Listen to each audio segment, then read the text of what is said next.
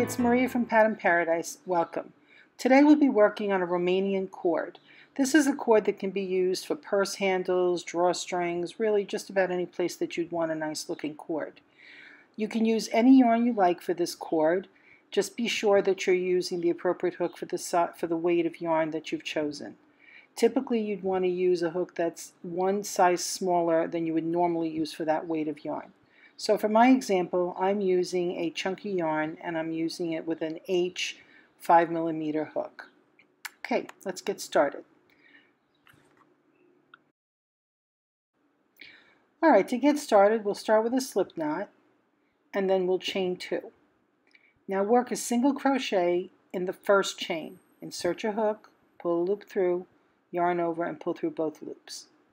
Now this little loop right here is where you'll do your first stitch. Insert your hook and again work a single crochet. Now from here forward you'll work in the same spot.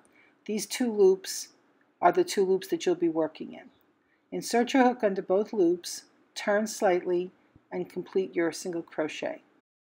For the remainder of the cord you'll work in the same way. You'll be working single crochet under the two loops to the side of the previous stitch.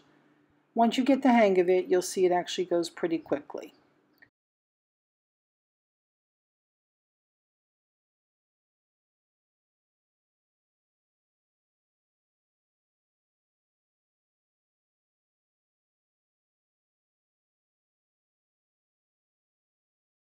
And there you have it, a pretty cord that you can use for lots of different projects.